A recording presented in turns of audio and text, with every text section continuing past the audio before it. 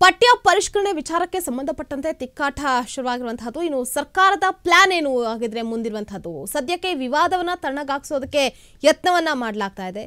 ಪರಿಷ್ಕೃತ ಪಠ್ಯವನ್ನ ಸಾರ್ವಜನಿಕವಾಗಿ ಪ್ರಕಟ ಮಾಡೋದಾಗಿ ಕೂಡ ತಿಳಿಸಿರುವಂತಹದ್ದು. ಎಲ್ಲ ಪರಿಷ್ಕರಣಾ ಸಮಿತಿಗಳು ಮಂಡನೆ ಮಾಡಿರುವಂತಹ ಪಠ್ಯಕ್ಕೆ ಜನರ ಆಕ್ಷೇಪಣೆಯನ್ನ ಆಹ್ವಾನ ಮಾಡುವಂತಹದ್ದು.